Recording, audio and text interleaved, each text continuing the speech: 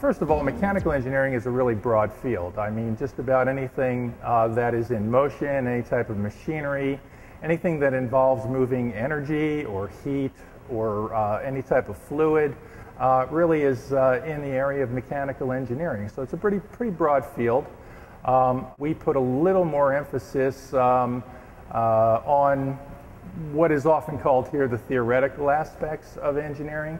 But what we really mean by that is um, we try to understand a little deeper how things work and why they work the way they do, with the idea that it's not just the job of an engineer to be able to operate and maintain equipment, but we have to figure out what the next thing is. What's, what are the ways we can improve what's currently in existence? How can we make it heavier or lighter or safer or more efficient or whatever it is you want to do?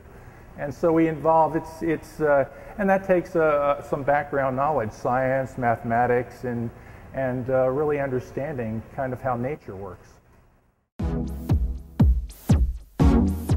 There's sort of a basic uh, core curriculum uh, that uh, will get you the um, bachelor's degree in mechanical engineering.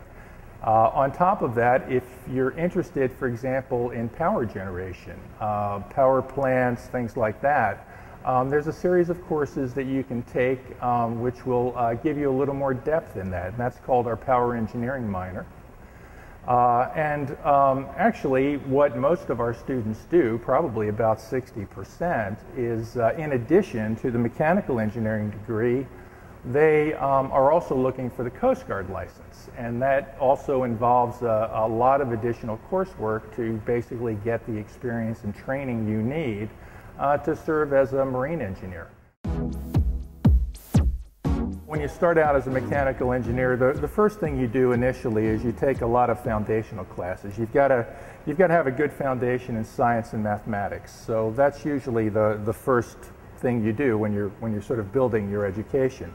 Um, then on top of that, what you're going to start taking are more specific engineering courses. And so you would take courses, um, for example, that involve understanding how heat moves from place to place and how you control that how fluids move from place to place and how you control that. Um, when machinery operates or you have a structure, what are the stresses that are there and uh, how do you design it so that it's not going to fail and it's going to move the way that you want it to move.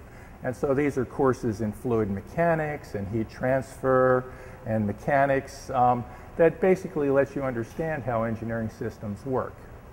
Um, in addition to that, at Cal Maritime, we also put uh, some emphasis on getting some good practical training too. And so, in addition to these, again, what you could call theoretical courses, um, you've got more practical courses too. You can talk about, in theory, for example, a piece of machinery that will generate electrical power. Um, but we also want you to get courses where you actually see what this thing looks like and you kind of get to take it apart and understand you know exactly how it works.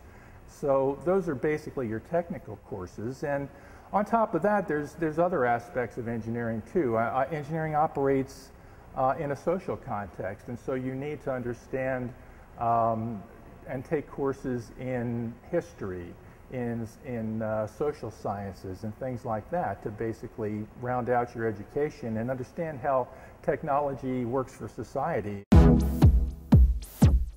What we really want to see is that you can actually use the knowledge that you've gained. The assignment is basically to design something that is in some ways new, uh, that satisfies some need that you've, you've observed out there. Students have, for example, designed uh, different ways to design a refrigeration system, for example, that doesn't actually require you to plug it in or um, different types of systems that generate power. People have designed hydrofoils, different uh, human-powered vehicles, but the idea again is to use the knowledge that you've got. And you have to, you have to design the system, but also very importantly, you also have to build it too. Uh, and hopefully it works when you build it, so. Biggest thing, first of all, is your science and math. Um, you need to not, uh, not try to shirk taking physics and taking chemistry. Very important to, to do, uh, to study math. Uh, if you can do some calculus in high school, that'll definitely be an advantage. Uh, if you're thinking about being an engineer, uh, try to learn about engineering. If you go to uh, the website for the American Society of Engineering Education, it's just asee.org.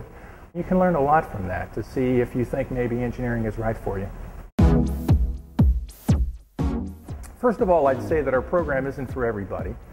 But I think if you're someone who you think would benefit from uh, working in a, in a fairly small size class, getting to work with faculty pretty closely, getting to work with the same group of students for several years, um, then, then this is really a school I think you should look into. And then, of course, also if you, if you are um, a little more geared to um, bringing in the practical aspects, the hands-on aspects to the traditional engineering ed education, again, we might be uh, a good place for you to look at you